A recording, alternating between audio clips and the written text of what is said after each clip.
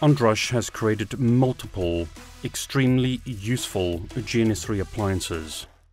And once again, he's created a really useful appliance. This time he's created an FR routing or free range routing protocol GNS3 appliance. So what is FR routing?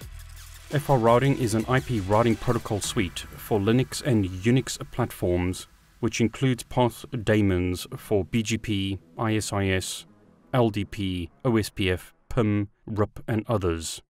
This essentially allows you to run BGP, OSPF, and other routing protocols on Linux PCs, but more importantly, on white box switches from companies such as Cumulus Networks.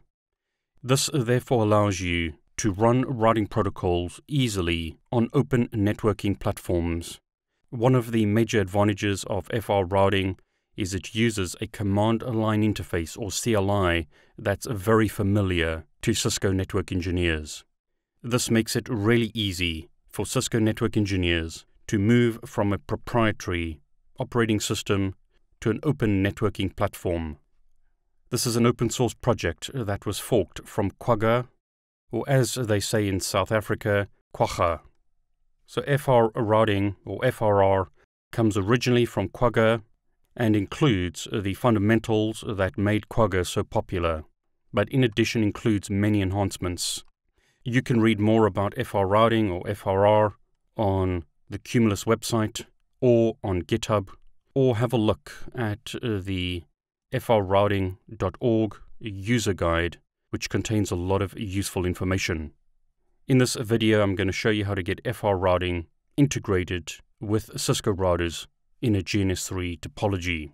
If you want to add an FR routing appliance to your GNS3 topologies, have a look under All Devices, Available Appliances, and search for FRR.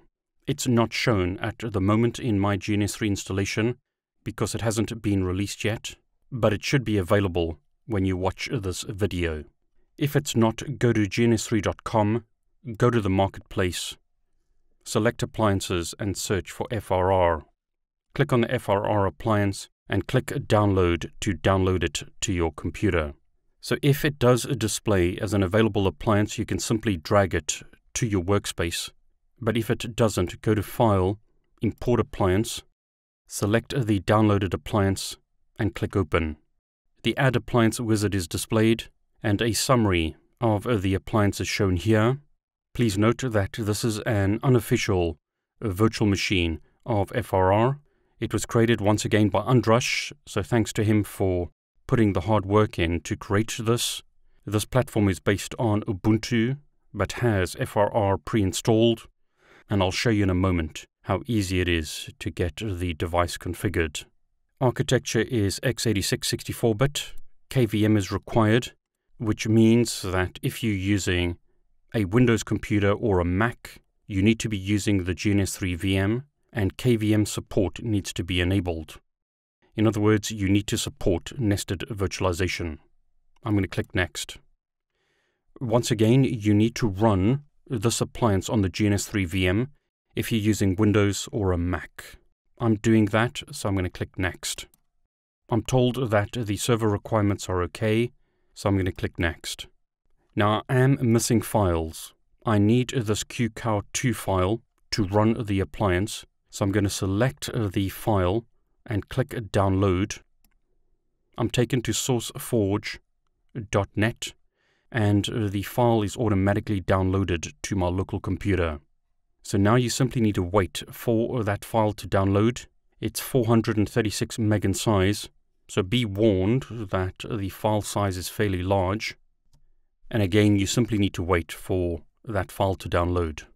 Now a note in GNS3. The file is compressed with bzip2, so you need to uncompress it before you use it.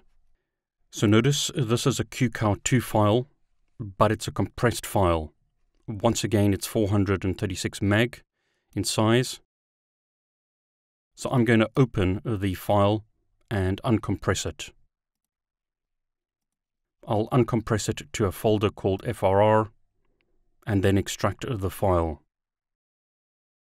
So if you're using Windows, use WinZip or some other software to unzip the file. As you can see, the file is being extracted. You need to wait for that to complete and then click OK and click refresh. GNS3 will then search for the files. If it doesn't find it, like it's not finding it here, click import and browse to where you've got the file and click open.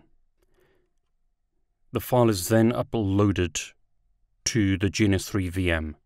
Notice it's 1.6 gig uncompressed. So again, it's a large file.